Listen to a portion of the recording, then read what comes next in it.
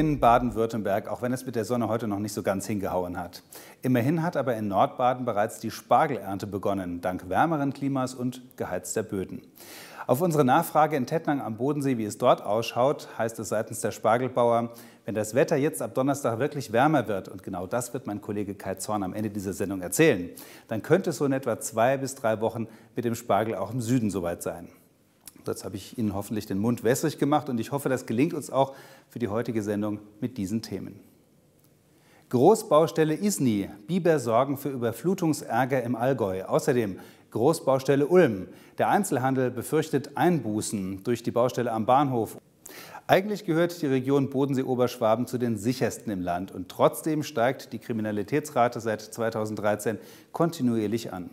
Im vergangenen Jahr verzeichnete die Staatsanwaltschaft Ravensburg einen traurigen Höhepunkt an Gewaltverbrechen. Man spricht sogar von einem mörderischen Sommer. Selten haben so viele Kriminalfälle die Staatsanwaltschaft Ravensburg beschäftigt wie im vergangenen Jahr. Die Zahl der Gewaltverbrechen stieg von 16 auf 28. Dazu zählen vor allem Mord und Totschlag. Allein fünf Menschen sind im Kreis Ravensburg innerhalb drei Wochen getötet worden. Pressesprecher Karl-Josef Diehl spricht von einem mörderischen Sommer. Ja, es war eine ungewöhnliche Häufung von Kapitaldelikten, die wir im Jahr 2016 innerhalb von 20 Tagen zu verzeichnen hatten, im Juni und Juli äh, letzten Jahres. Ähm, da waren ja diese drei Tötungsdelikte, äh, der Kopfschuss in Weingarten, der Dreifachmord in Untereschach und dann letztendlich noch der vorgetäuschte Suizid in Bergweiler, die äh, ja, sehr arbeitsintensiv waren und die uns äh, in dieser Zeit sehr beschäftigt haben. Die meisten Delikte werden von Männern im Alter von 20 bis 30 Jahren begangen. Eine Ausnahme war ein 82-Jähriger, der seine 91-jährige Geliebte in Bad Wurzach durch einen gezielten Nackenschuss umbringen wollte. Insgesamt stieg die Zahl der Ermittlungsverfahren um 600. Obwohl die Kriminalitätsrate im Raum Bodensee-Oberschwaben seit 2013 wieder kontinuierlich steigt, müssen die Menschen in der Region keine Angst haben, meint Behördenleiter Alexander Boger zählt sicher zu einer der sichersten Regionen im ganzen Bundesgebiet. Ich habe es vorher ausgeführt. Äh, Baden-Württemberg ist eines der sichersten Bundesländer. Württemberg hat eine geringere Kriminalitätsziffer als Baden und je weiter es Richtung Süden geht, umso sicherer. Ein Problem bereitet der Staatsanwaltschaft aber die Raum- und Personalnot. Immerhin wurden für dieses Jahr zwei neue Staatsanwälte bewilligt. Wann die alten und beengten Räume an der Seestraße saniert und erweitert werden können, steht hingegen noch nicht fest. Verkehrspolizisten in Baden-Württemberg sollen künftig wieder schneller zu Unfallorten kommen. Grünen Innenexperte Uli Skerl geht davon aus, dass der Lenkungsausschuss zur Überprüfung der Polizeireform einen Vorschlag unterbreiten wird. Demnach könnten die Verkehrspolizeidirektionen auf dem Land aufgelöst und die Unfallermittler dezentral bei den Revieren angesiedelt werden. Skerl sagte, es gebe anhaltende Kritik daran, dass seit der Polizeireform vor drei Jahren manche Verkehrspolizeidirektionen zu weite Wege zu Unfallorten hätten. Der Lenkungsausschuss, den das Innenministerium eingesetzt hatte, soll am Dienstag in Stuttgart das letzte Mal tagen und seine Empfehlungen bis Ende März an Innenminister Strobel übergeben. Zweiter Verhandlungstag verläuft ruhig. Im Steinewerferprozess am Ellwanger Landgericht ist heute zum zweiten Mal verhandelt worden. Es sind unter anderem Polizeibeamte, die in der Unfallnacht im Einsatz waren, gehört worden. Der Angeklagte hatte am ersten Verhandlungstag den bei dem Unfall verletzten Familienvater verbal bedroht. Am heutigen Sitzungstag hat es keine Zwischenfälle dieser Art gegeben. Der Mann muss sich außerdem wegen illegalen Waffenbesitzes verantworten, da die Polizei mehrere Schusswaffen bei ihm zu Hause sicherstellen konnte. Ob Beamte der Justizvollzugsanstalt Ravensburg vor mehr als zehn Jahren CDs mit Recht zur Musik an Gefangene verteilt haben, das hatte am Montag ein Zeuge vor dem NSU-Ausschuss des Stuttgarter Landtags behauptet. Das Justizministerium und die Staatsanwaltschaft prüfen die Vorwürfe. Bislang gäbe es aber keine Anhaltspunkte für solche Vorfälle. Der damalige Leiter der JVA Ravensburg, Alexander Boger, ist überrascht. Der jetzige Leiter der Staatsanwaltschaft Ravensburg habe die Protokolle aus dem NSU-Ausschuss angefordert und werde entscheiden, ob seine Behörde strafrechtliche Ermittlungen gegen Justizvollzugsbeamte einleite. Unter Umständen könnte das eine andere Stelle übernehmen, wenn er wegen seiner damaligen Leitungsfunktion als befangen gelten sollte. Porsche SE im Plus. Die Finanzholding ist wieder zurück in der Gewinnzone. Für 2016 verzeichnete die PSE eigenen Angaben nach ein Gesamtergebnis von fast 1,4 Milliarden Euro. Im Jahr zuvor hatte der VW-Abgasskandal noch Verluste von über 300 Millionen verursacht. Auch hinsichtlich der Zukunft äußerte sich Holdingchef Dieter Pötsch heute in Stuttgart. Die Holding soll weiter in Familienhand bleiben. Damit bezog er sich auf Ferdinand Piechs Pläne, seine milliardenschweren Anteile an der VW-Dachgesellschaft verkaufen zu wollen. Überflutungsärger im Raum Isny im Allgäu. Warum Biber nicht nur putzig sind, das gibt es gleich hier bei uns im Journal BW. Wertvolle Zutaten, wertvolle Gerichte, wertvolle Gäste. Feuerlein kocht wertvoll. Jeden Sonntag um 18.30 Uhr nur auf Regel TV. Im Kabel und auf Satellit.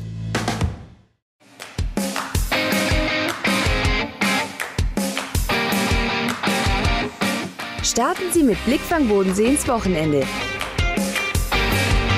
Jeden Freitag um 20.30 Uhr stellen wir Ihnen die Highlights aus unserer Region vor. Wir zeigen Ihnen die besten Freizeittipps und die schönsten Ausflugsziele.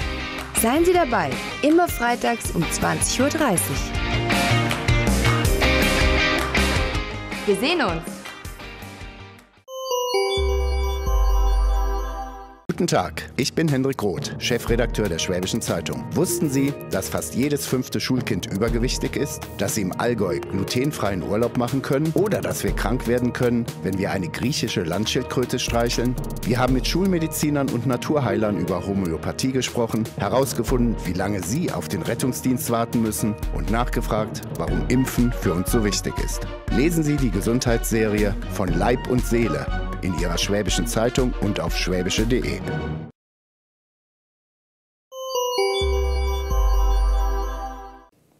An den Anblick von Großbaustellen ist man in Stuttgart inzwischen leidlich gewöhnt. Vor allem rund um Bahnhof und Schlossgarten wird die Erde für das Großprojekt Stuttgart 21 kräftig umgegraben. Auch an der Oberfläche hat das natürlich Auswirkungen und die könnten in nächster Zeit noch gravierender werden. In einem Rundumschlag hat die Bahn weitere Baumaßnahmen für Stuttgart 21 in den nächsten beiden Jahren angekündigt.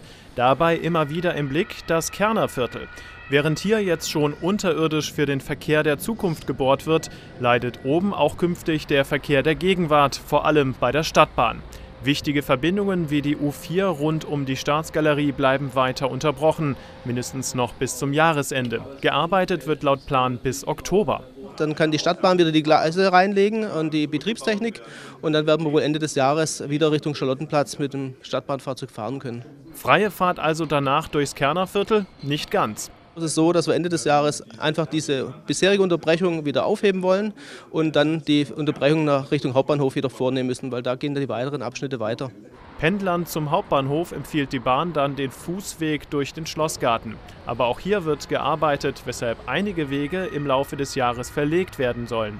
Betroffen sind aber nicht nur Pendler, auch auf die Anwohner kommt etwas zu. Solche Messgeräte nämlich, sogenannte Schlauchwagen. Einmal in den Häusern installiert, sollen sie kleinste Hebungen und Senkungen registrieren. Zur Erinnerung, ein paar Meter tiefer wird am Filtertunnel gebohrt. Senkt sich dadurch ein Haus ab, will die Bahn ab sofort handeln können. Wir pressen unter hohem Druck an einer ganz bestimmten Stelle, unter den Häusern, unter den Fundamenten, dort wo es notwendig ist eine Zementwassersuspension in den Untergrund. Dazu ist ein genaues Auslesen der Daten nötig. Was das angeht, müssen die Hausbesitzer auf die Bahn vertrauen, denn Zugriff auf die Messergebnisse hat nur sie. Diese Daten zur Verfügung zu stellen, das wäre sicherlich äh, nicht sinnvoll, weil der normale Mensch mit den Daten wenig anfangen kann. Die Bewohner der etwa 20 betroffenen Häuser wissen übrigens noch nicht, was auf sie zukommt. Die Bahn will aber an sie herantreten. Eine erste Infoveranstaltung ist für heute Abend geplant. Wir bleiben noch kurz auf der Schiene. Ab Ende 2018 soll in Baden-Württemberg ein landesweit gültiges Ticket für den öffentlichen Nahverkehr der Verbünde eingeführt werden. Dieses wird dann unter dem Motto Ein Land, eine Fahrt, ein Ticket für alle Fahrten mit der Bahn sowie Bussen und Stadtbahnen gelten. Bislang ist das Baden-Württemberg-Ticket nur auf den Zugverkehr beschränkt. Die Initiative zu dem neuen Ticket geht von der Landesregierung aus. Sie verspricht sich davon eine Stärkung des öffentlichen Personennahverkehrs. Und damit zu weiteren Nachrichten aus der Metropolregion. Und da geht es jetzt zuerst in den Wald. Eichen für den Frühlingswald. Pünktlich zum heutigen Tag des Waldes können 154 junge Stieleichen in Urbach im Rems-Murr-Kreis neue Wurzeln schlagen. Die Auszubildenden der Forst BW und dem Weiblinger Motorsägenhersteller Stiel pflanzten die Jungbäume heute. Hintergrund der Aktion: Bei der Timbersports Weltmeisterschaft im vergangenen Jahr konnte das Unternehmen 154 Baumpaten gewinnen. Deren Bäume dürfen nun im Urbacher Frühlingswald wachsen. Schulsport im Wasser. Sechs Schulmannschaften aus Esslingen und Stuttgart haben heute um den Wasserball Regio Cup gespielt. Angetreten sind im Stuttgarter Leo Vetterbad knapp 60 Schüler aus der vierten und fünften Klasse. Ausgerichtet wird der Wettbewerb vom Schwimmverband Württemberg und das heute bereits zum vierten Mal. Ziel des Regio Cups ist laut Verband, Kindern den Spaß am Wasser zu vermitteln. Die Bauarbeiten für das Projekt Stuttgart 21 befinden sich in Ulm in bester Gesellschaft. Auch hier hat sich das Gelände rund um den Bahnhof in eine einzige Großbaustelle verwandelt. Und seit dieser Woche muss sich der Autoverkehr auch noch mit zwei statt vier Spuren begnügen. Und das für die kommenden drei Jahre. Das Verkehrschaos ist zwar fürs Erste ausgeblieben, aber die Parksituation, die ist angespannt. Und das wiederum hat Auswirkungen auf den Einzelhandel. Der Bereich um den Ulmer Hauptbahnhof ist jetzt endgültig zur Großbaustelle geworden. Und seit dieser Woche heißt es für den Verkehr vor dem Bahnhof drei Jahre zweispurig. Was klingt wie ein hartes Urteil, ist tatsächlich entspannt über die Bühne gegangen. Das große Chaos ist ausgeblieben. Und obwohl der Besuch in der Innenstadt durch die Baustellen für Fußgänger und Autofahrer umständlicher geworden ist, lassen sich die meisten nicht vom Einkaufen abhalten. Am Bahnhof, wenn man mit dem Zug reinkommt, ist es etwas chaotisch, aber ja, ich sage so, jetzt hier am Shopping-Ding stört es mit. Kaum. Ich, ich, wenn ich zum Einkaufen nach Ulm gehe, gehe ich immer bestimmte Geschäfte. Stört mich nicht. Ich finde es einfach nicht schön, aber ich meine, da entsteht ja was Neues, entsteht was Gutes. Es stört ein wenig, aber kommt her. Man findet sich zurecht. Das haben sie prima gemacht. Also die Ausschilderung ist hervorragend. Das ist ein Eindruck, den auch das Ulmer City Marketing teilt. Ideal seien die Baustellen natürlich nicht. Laut City Manager Henning Krone haben die Bauarbeiten allerdings bisher keine großen Auswirkungen auf den Einzelhandel in der Innenstadt gehabt. Ja, natürlich gibt es teilweise Frequenzverluste, aber ähm, es funktioniert alles ganz gut. Ulm ist erreichbar, die Samstage sind weiterhin stark. Natürlich spielt das Wetter auch immer ein bisschen äh, eine Rolle. Man muss das jetzt weiter beobachten, was weiterhin passiert. Wir treffen dort auch geeignete Maßnahmen, was das Thema Baustellenmarketing betrifft, mit den Shoppingstelen. Wir machen jetzt immer eine Flyer-Verteilaktion und, und, und. Also es passiert auch immer weiter was für die Kunden. Es ist durch die Baustellen zwar unbequemer geworden, erreichbar ist die Innenstadt aber nach wie vor. So zumindest der Eindruck des City-Marketings. Und Henning Krone vermutet, dass aus einem vermeintlichen Nachteil auch ein Vorteil werden kann. Es wird in Zukunft äh, Besichtigungen der einzelnen Baustellen geben, um auch hier zu erklären, was wird denn hier überhaupt gemacht. Und ich glaube, so ein 21 Meter tiefes Loch im Bereich des Bahnhofs, äh, wo die neue Garage entsteht, wird auch ganz spannend sein, sich anzuschauen.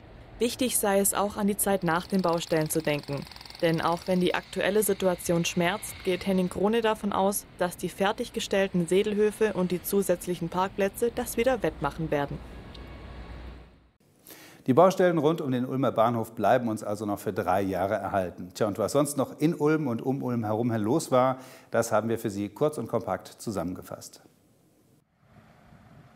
Brandursachen stehen noch nicht fest. Zweimal hat es gestern im Landkreis Neu-Ulm gebrannt. Am Nachmittag hat die Feuerwehr einen Brand in einer Tiefgarage in Senden bekämpft, bei dem 30 Fahrzeuge in Mitleidenschaft gezogen wurden. Mit einer Wärmebildkamera konnten sie das Feuer in der stark verrauchten Anlage bekämpfen. Die Schadenssumme soll bei über 100.000 Euro liegen. Genauso hoch schätzt die Polizei den Schaden bei einem Feuer gestern Abend in Neu-Ulm. Dort brannte der Verkaufsraum einer Autowerkstatt. Auch hier ist die Brandursache bislang unklar. Universität richtet Testfeld ein. An einer Kreuzung in Ulm richten die Universität Ulm und ihre Partner Bosch, Nokia und TomTom in den kommenden Wochen ein Testfeld für autonomes Fahren ein. Laternenmasten an der Straßenkreuzung, die noch bestimmt wird, werden mit speziellen Sensoren ausgestattet, die das Auto auslesen kann. Kameras, Radarsensoren und ein besonders schnelles Internet sollen bei der Verarbeitung eine Rolle spielen. Drei Jahre lang soll das Projekt dauern, das vom Bundeswirtschaftsministerium mit 650.000 Euro gefördert wird. Juristen räumen Hochhaus. Die Staatsanwaltschaft Ulm räumt ihre in die Jahre gekommenen Gebäude an der Olgastraße. Anfang April kümmert sich eine Spezialfirma um den Umzug tausender Akten, die in den Kellern der beiden Gebäude lagern.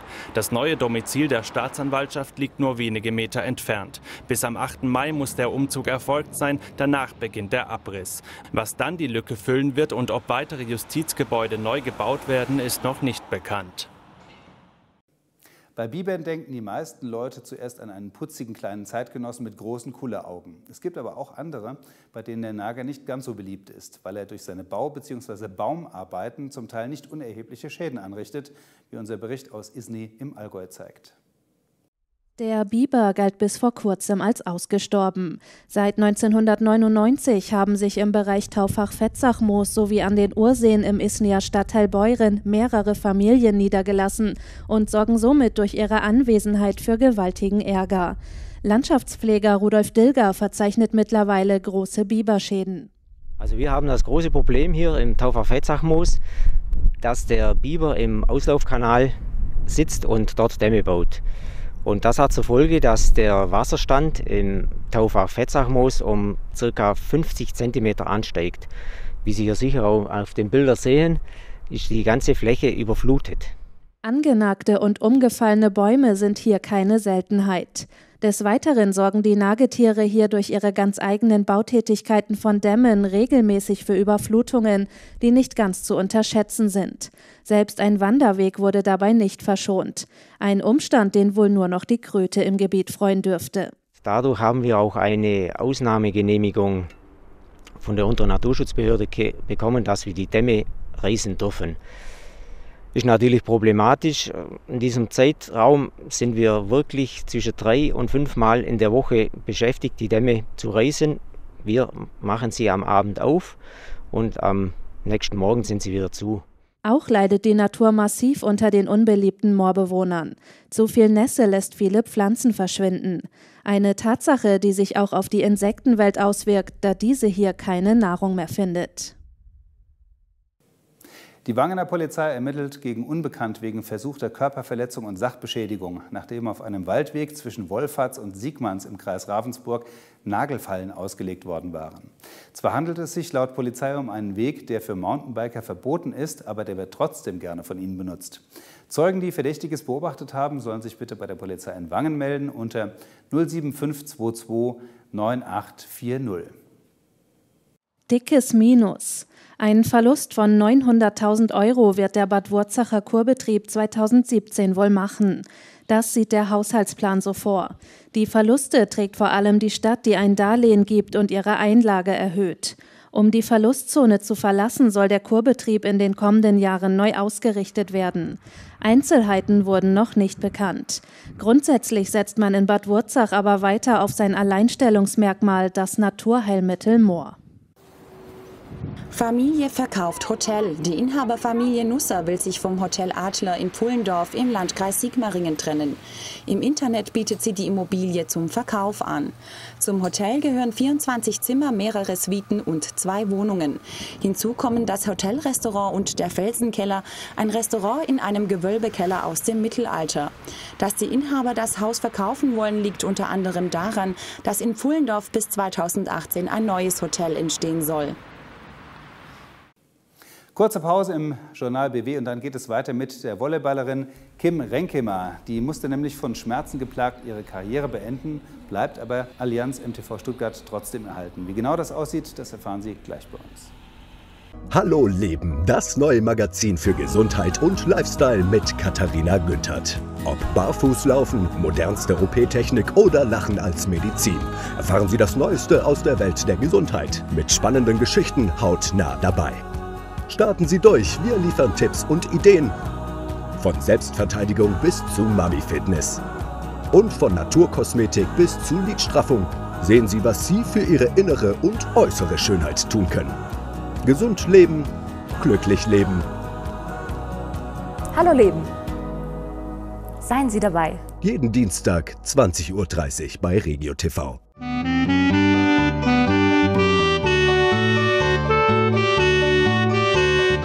Abi, guck mal. Du glaubst es nicht? Regio TV hat es endlich auch geschafft. Ab sofort finden Sie unsere Programmübersicht unter www.tvspielfilm.de und in der App. Dazu einfach Regio TV Bodensee in der Senderliste auswählen und einschalten. Das weiß ich endlich auch, wenn der Feuerlein kommt. Jetzt informieren, wann Ihre Lieblingssendung läuft. Auf TV Spielfilm oder TV Today im Web oder der App.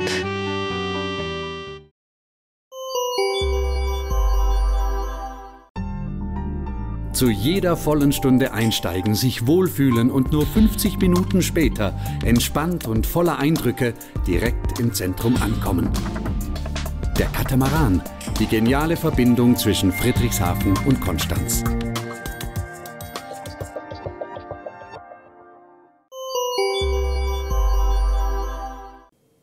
Wir sind zurück im Journal BW.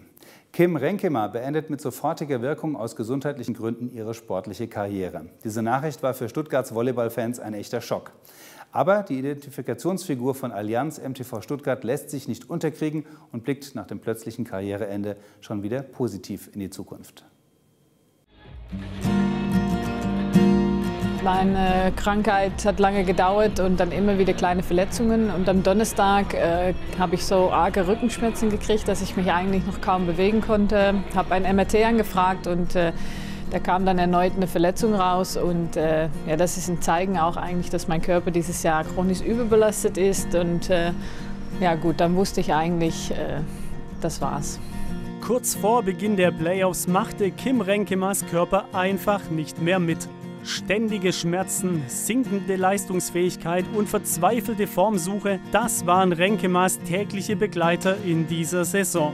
Im Herbst war bei der Kapitänin von Allianz MTV Stuttgart pfeifersches Drüsenfieber diagnostiziert worden. Und um bleibende gesundheitliche Schäden zu verhindern, zog Renkema jetzt zusammen mit den Ärzten und dem Verein einen Schlussstrich unter ihre Profikarriere. Mir geht's gut. Klar, ich bin äh, traurig, dass meine Karriere so enden musste und vor allem jetziger Zeitpunkt. Das ist natürlich immer schade, wenn eine Spielerin so früh ausfällt. Meine Gesundheit ist wichtiger, aber klar äh, tut es jetzt aber noch ein bisschen weh. Ihr berühmter Kampfgeist, ihre Siegermentalität und ihre Führungsqualitäten, all das muss ab jetzt auf anderen Schultern verteilt werden. Genau diese Charaktereigenschaften will die Kapitänin aber auch in ihrer neuen Position im Verein einbringen. Denn die Sympathieträgerin wechselt vom Spielfeld an den Spielfeldrand ins Vereinsmanagement. Es ist für mich natürlich unglaublich interessant, auch in diesem Leben zu bleiben, in diesem Sport, den ich so liebe. Und ähm, ja, es ist eine neue Aufgabe, es ist eine neue Funktion äh, bei uns. Und äh, ja, vor allem werde ich natürlich für die Sportseite verantwortlich sein und äh, ja, es wird spannend, eine Herausforderung. Ihre positive Energie und ihr Lächeln hat Kim Renkema also nicht verloren. Dafür sollen die Schmerzen bald Geschichte sein, dank eines gezielten Reha-Programmes. Denn auch ihre neue Aufgabe will die Sportdirektorin Kim Renkema so angehen wie die Spielerin Kim Renkema mit voller Energie. Was das Wetter angeht, da wird uns gleich mein Kollege Kai Zorn verraten, dass wir nur noch einen Tag ausharren müssen und dann können wir endlich die Grills aus der Garage bzw. aus dem Keller holen. Schönen guten Abend, ich begrüße Sie zum Wetter hier bei Regio TV. Die Strömung wird sich jetzt um 180 Grad drehen. Wir kriegen eine komplett andere Wetterlage und damit kommen wir aus dem feucht, milden und trüben März raus hin zu einem deutlich freundlicheren mittelfristig. Allerdings auch mit trockenerer Luft und kühlem Wind. Grund dafür ist ein Hoch, das liegt noch über Deutschland, wird in den kommenden Tagen aber nach Norden wandern. Der Mittwoch hat die Reste von Tief Falk. Vor allen Dingen in Württemberg regnet es noch. Die Regenfälle lassen langsam nach. Und später am Tage lockern die Wolken mehr und mehr auf. Die Höchstwerte erreichen 10 bis 14 Grad. Unter den dichten Wolken mit Regen bleibt es eine ganze Ecke kühler. Die kommenden Tage werden dann freundlicher. Es wechseln sich viel Sonnenschein und lockere Wolken ab. Die Temperaturen steigen zunächst an auf 17, 18 Grad. Ab Sonntag gehen die Werte vorübergehend ein bisschen zurück und auch die Nächte werden frisch mit Bodenfrostgefahr, aber der Frühling kommt jetzt so richtig. Also nur noch einen Tag ausharren bis zu den Frühlingsgefühlen und diesen einen Tag, den kriegen wir auch noch rum. Das war das Journal BW am Dienstag. Den Rest der Woche begrüßt Sie hier meine Kollegin Marion Geile und wenn Sie möchten, sehen wir uns am kommenden Montag wieder. Ihnen eine gute Zeit. Bis dahin.